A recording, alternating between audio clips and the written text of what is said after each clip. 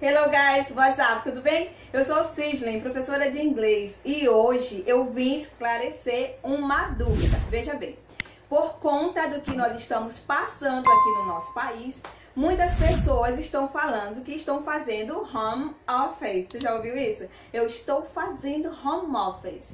Então entenda bem, a pergunta foi essa. Ah, qual verbo eu uso para formar esta frase? Porque em inglês o verbo fazer são dois: é o to do e o to make, ok? Mesma tradução, mas são usados em situações diferentes. Então, como a pergunta é qual dos dois verbos eu uso, eu vou responder, sabe o que é?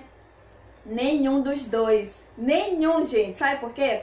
Porque home office quer dizer, em inglês, quer dizer um local na tua casa que você separou para virar o teu escritório. Pode ser um compartimento, pode ser um cantinho ali que você fez de escritório. Então você trabalha de casa para enviar o teu conteúdo para a empresa. Tá bom? Então, em inglês, entenda que nós não vamos falar eu estou fazendo home office. Em, em português, aqui no Brasil, beleza. Quando você fala assim para alguém, a pessoa entende que você está trabalhando em casa, não é? E enviando seu conteúdo para a empresa.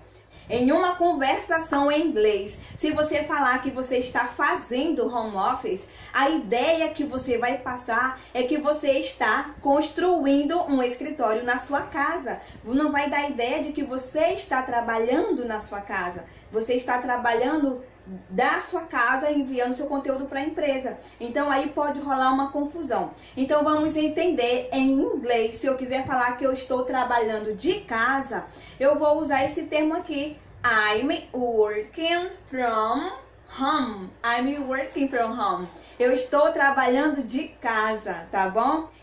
Working from home is not as easy as many people think.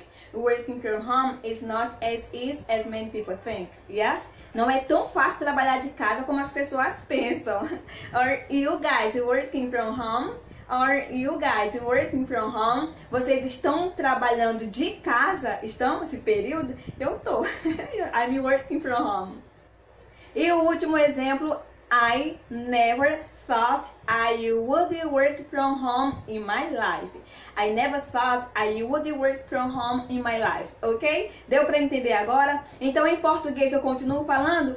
Continua, que todo mundo está usando isso. Mas em uma conversação em inglês, não fala isso, por favor. Don't say I'm making home office, ok, guys? Se você gostou desse vídeo, eu esclareci a tua dúvida, então deixa o seu like e compartilhe esse vídeo com os teus amigos. See ya later!